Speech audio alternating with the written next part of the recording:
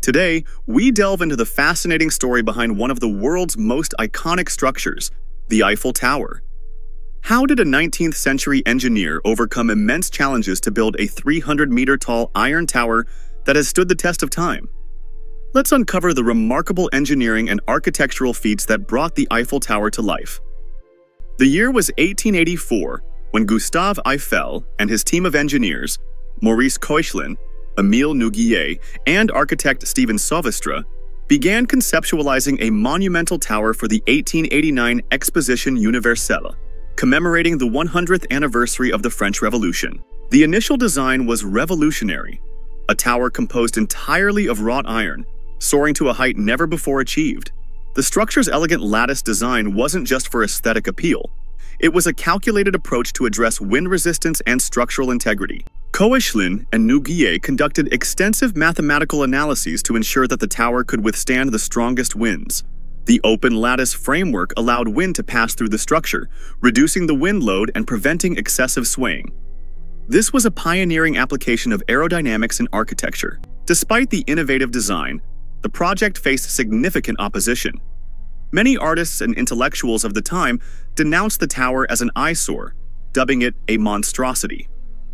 Critics argued that such an industrial structure would tarnish the beauty of Paris. Gustave Eiffel defended his vision passionately, emphasizing the tower's scientific and architectural merit. He stated, Not only will the tower be the tallest structure in the world, but it will also symbolize the prowess of modern engineering and French industrial power. Construction began on January 28, 1887. One of the first engineering challenges was laying a solid foundation on the marshy banks of the Seine River. The tower's structure comprises over 18,000 individual iron components, precisely prefabricated in Eiffel's factory using advanced metallurgy techniques.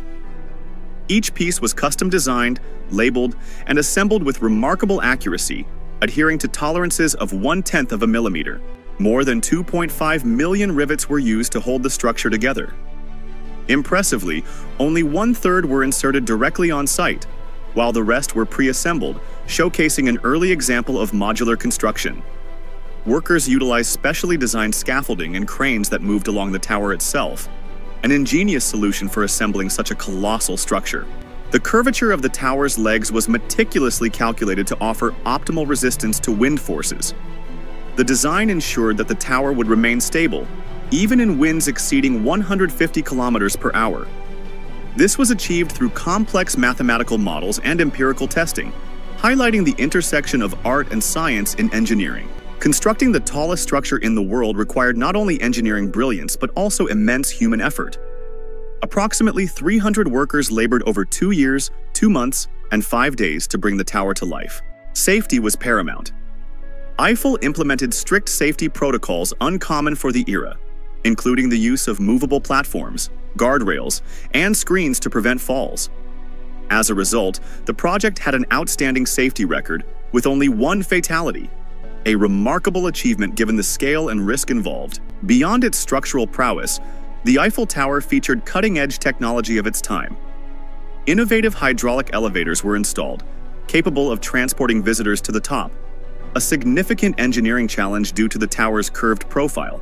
The tower also served as a laboratory for scientific experiments, including meteorology and aerodynamics. In the early 20th century, it became a pivotal broadcasting tower, facilitating the advancement of radio and television communications. Originally intended to stand for only 20 years, the Eiffel Tower's utility and symbolic value ensured its permanence. Today, it remains a testament to human ingenuity, Visited by millions annually and inspiring engineers and architects worldwide, the Eiffel Tower is more than just an architectural landmark. It's a story of innovation, resilience, and the transformative power of engineering.